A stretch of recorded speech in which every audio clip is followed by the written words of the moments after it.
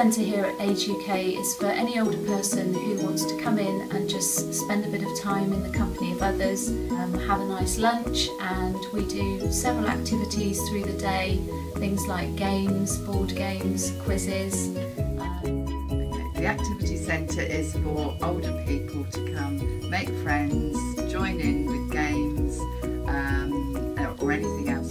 interested in coming to the Activity Centre, um, all they have to do is ring Age UK and just show an interest and then they can pop in and see me. So they can just start off with a coffee just for one or two mornings a week and then if they decide they like the activity centre and they feel that they could fit in here then we tend to up the length of time that they spend here so that they get to know how it all works gradually.